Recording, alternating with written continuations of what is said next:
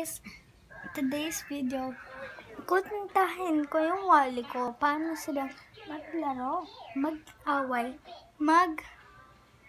Anong ginagawa nila. So, first, nag... Nagsa-cellphone. Ayan, o. Tipo. Ayan pa. Cellphone niya sa isang iPad.